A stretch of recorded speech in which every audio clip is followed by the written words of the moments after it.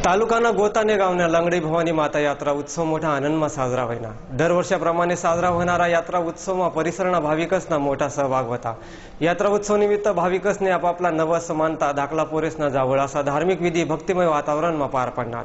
देवीले हिरवा शालू हिरव्या बांगड्यासना आहेर चढाईन.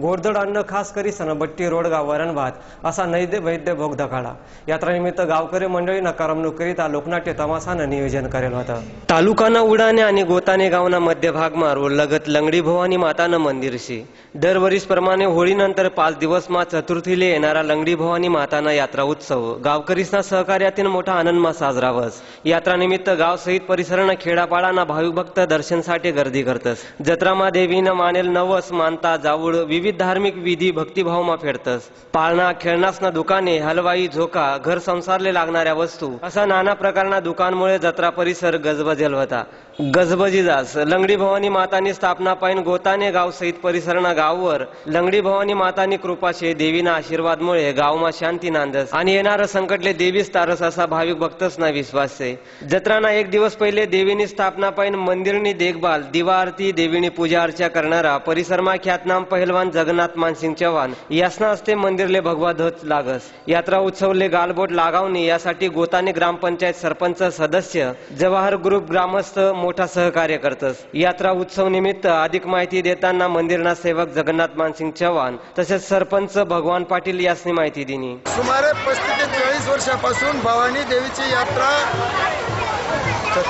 दर वर्षी होळीच्या नंतर येणारी चतुर्थी या दिवशी या दे- देवीची यात्रा ग्रामस्थांमार्फत भरवण्यात येते.